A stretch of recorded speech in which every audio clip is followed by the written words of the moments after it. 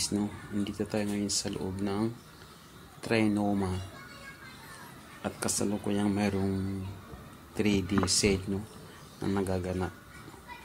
So, ngayon guys, kung kayo hindi pa nakakapasyal, subukan nyo, subukan nyo mamasyal ngayon dito sa Trinoma.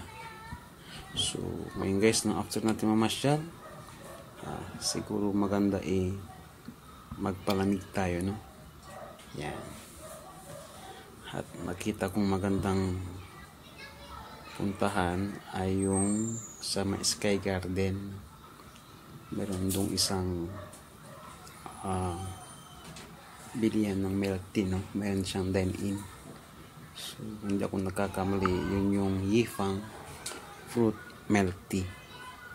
Yan. Yifang Fruit Milk Tea. Yan. Kaya tara guys, no? Mag double refreshing tayo doon kasi bukod sa masarap yung milk nila ang kinaganda pa ito no? Yung ambience no? Nandun tayo mismo sa loob ng sky garden ng Trinoma. Tara guys